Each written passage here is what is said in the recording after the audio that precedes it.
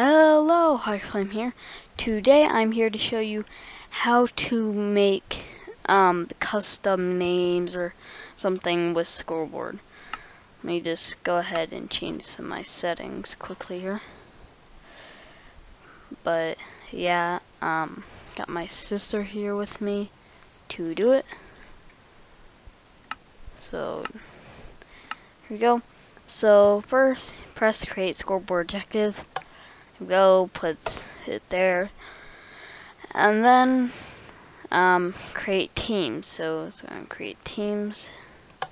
Let's join red team. This is good for like PvP stuff or mini game and on my sister I'm going to join blue team. Oops. Blue team and red, team. So yeah, and now press to get a sword. We're both going to get a sword of awesomeness, which says, use this to murder people. So, let's go to, all go to survival. Let's head on to the PvP arena. Back here. Do do do do. And my sister's not actually controlling her account. I logged in on her on another computer because she's not here right now. So let's see. La la. Go in here. Three, two, one, fight. Oops. Uh, fight. As you see, when I kill her, it gives me a kill. See.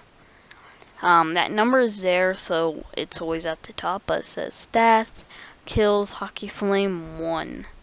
So, that's a pretty cool thing. So, game mode 1, everyone. So, yeah. And now,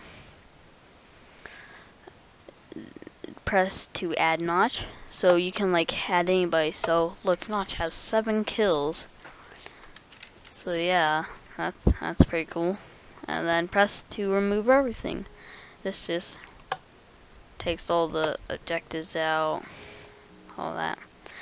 So yeah, um, the behind the scenes is, let's see, back here, I just made a little door to make it look fancy entrance. Getting lots of lag right now, but enter. And this is the create one. Um, there's already, um, a team yellow. So yeah, just creates an objective. Well, oh sorry. First, it creates an objective stats player kill count. So when I kill someone, it adds a point. And then you scoreboard players add or set. I do add.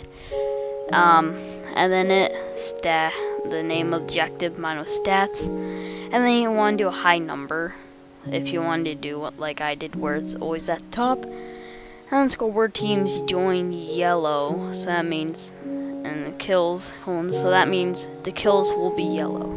So, and then here it'll create teams, add blue, add green, and down here is add red, and then these just set the color for it.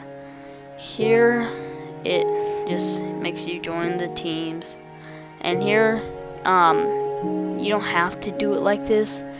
I'm using the 1.7 snapshot, so yeah, but you can do it differently. And here, it does play scoreboard players add notch stat 7. That's what made notch appear. And then scoreboard teams join green notch, so notch will be green. And here it just removes all of them. So yeah, that's about it for this video. I hope you enjoy, and stay tuned for like 5 second slow motion thing. It's gonna be epic.